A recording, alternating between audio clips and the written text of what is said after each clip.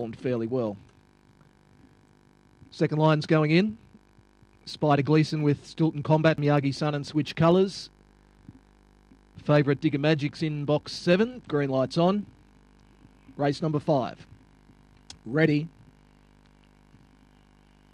Racing, Digger Magic away fairly, fast out Spider Gleason, Kaylee Sunrise and flying Barry Mack on the inside, then Stilton Combat. Digger Magic's back second last with Miyagi Sun and Switch Colours. Into the back they run. Spider Gleason skipped away, led by five lengths over flying Barry Mack. Similar margin back to Stilton Combat, Miyagi Sun. Next was Digger Magic running on, then Switch Colours, Jamela Nova and Kaylee Sunrise. Down the side though, Spider Gleason still a big leader. In second spot was uh, flying Barry Mack, then Stilton Combat to the bend bendo. Spider Gleason has got it all wrapped up.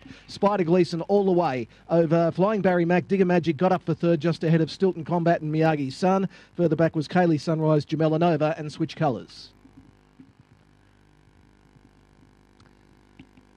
528, 1556.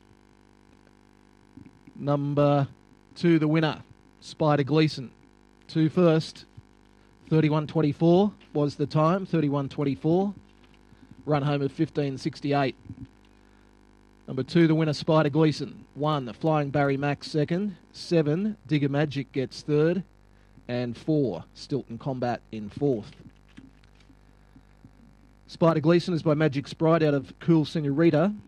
It is owned by George Catul, trained by Leonard Polidano. Four and a half lengths the winning margin. Two and three quarters between second and third. Number one, second, Flying Barry Mack by Cosmic Rumble out of Sienna's Melody. Owned and trained by Gregory McLaughlin. And seven, Digger Magic third is by Magic Sprite out of My Girl Tilly. Owned and trained by